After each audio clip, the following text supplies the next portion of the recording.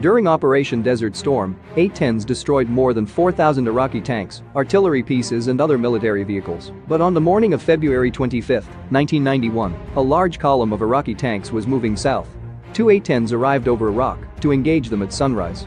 The A-10A pilots, carrying AGM-65 Mavericks and 30mm ammunition swooped through the haze and attacked the tanks.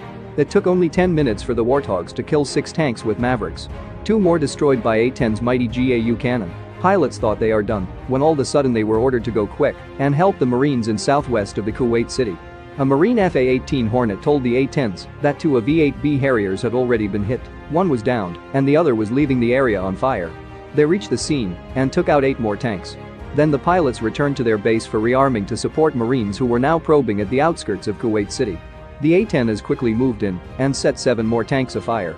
23 tanks in one day, A-10 set an all-time record for Maverick and cannon kills.